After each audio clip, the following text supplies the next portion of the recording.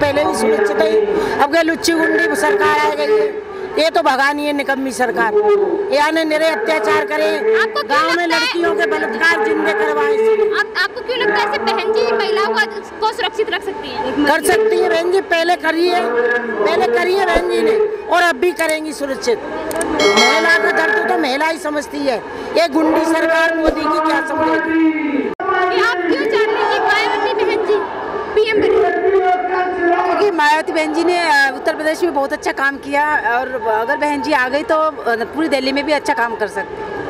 आपको क्या लगता है बहन जी के आने से महिलाओं की जो सुरक्षा है व्यवस्था है?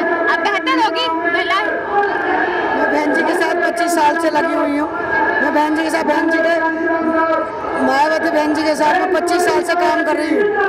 और साहब काशीराम साहब मेरे घर पे आए और झंडे लगा के गए।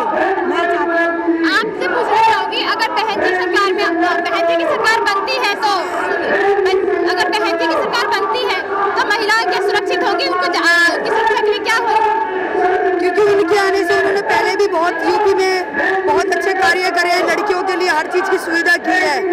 ये ऐसा नहीं होना चाहिए जैसे पहले दामनी के साथ ऐसा हुआ ऐसा इस बार नहीं होना चाहिए। क्योंकि इस बार मायावती बहन जी जो आ रही है महिलाओं की सहायता और मदद करने के लिए हमेशा वो लड़कियों के साथ खड़ी रहेंगी।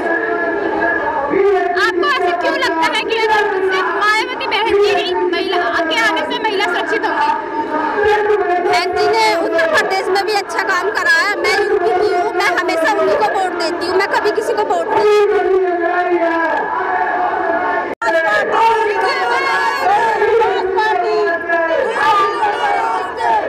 अगर आपने अभी तक हमारा चैनल सब्सक्राइब नहीं किया है तो सब्सक्राइब करें और घंटी का बटन बिल्कुल भी दबाना ना भूलें, ताकि सभी लेटेस्ट खबरें पहुँच सकें आप पे सबसे पहले।